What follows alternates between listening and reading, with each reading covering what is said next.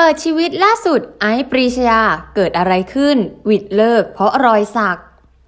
อีกหนึ่งคู่รักที่น่ารักและลุ้นข่าวดีมาตลอดระหว่างนางเอกร้อยล้านไอซ์ปรีชญา และหนุ่มนอกวงการสเตฟาน เราจะเห็นโมเมนต์น่ารักน่ารักของทั้งคู่อยู่บ่อยครั้ง ผ่านโซเชียลพูดถึงความรักหลายคู่ก็มีเรื่องราวทะเลาะกันบ้าง แตกต่างกันบ้างสำหรับคู่นี้เกือบเลิกกันเพราะรอยสักเลยแหละค่ะ โดยทั้งคู่ได้เปิดใจเล่าในรายการ Club Friday Show เพราะรอยสักของสเตฟานนี่แหละทำให้ทะเลาะกันจนเกือบเลิก ไอซ์ปริชยาบอกว่า เราก็เห็นที่คอเขา เราก็ถามว่าชื่อใคร เขาก็บอกว่าแฟนเก่า เราก็ถามว่าทำไมยังอยู่ เขาก็บอกว่าเขาเคยสักชื่อใครบ้าง แต่เขาสักทับหมดแล้ว และทำไมไม่บอกเราเอง อันนี้คือสิ่งที่เราโกรธสเตฟานตอบว่า ตอนนั้นก็ประมาณเที่ยงคืน เราก็ขับรถ ทำอย่างไรให้คุณสบายใจได้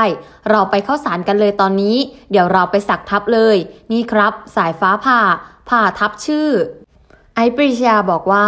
ใช่ค่ะ ผ่าไปเลยค่ะ อันนี้ไอสักเองด้วย